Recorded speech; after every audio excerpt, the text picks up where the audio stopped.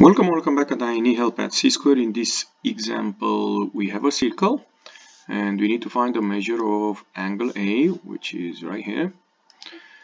If the measure of arc BC, which is this arc, is 110 degrees. So if you notice, this is an, an angle that is created by two lines that intersect outside this circle O, the measure of angle A will be nothing else than half of the difference between the measure of arc BDC which is this big arc and you see I use three letters to describe it minus the measure of the arc BC. And we know the measure of the arc BC, it's given to us, is 110 degrees.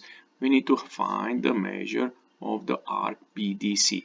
But if you notice, the measure of the arc BDC plus the measure of arc BC will be nothing other than 360 because they give us the whole circle. And like I said, BC is 110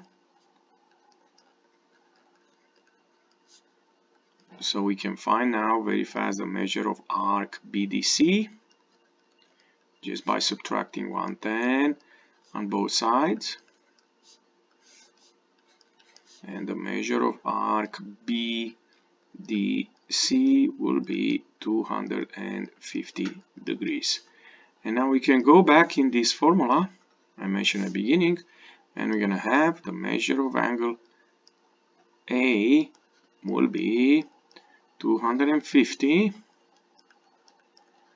minus 110 divided by 2 and that will be 140 divided by 2 that will be 70 70 degree. The measure of angle A will be 70 degree. If you enjoyed this video clip don't forget to click the like button and come back and C-Square for more help. Thank you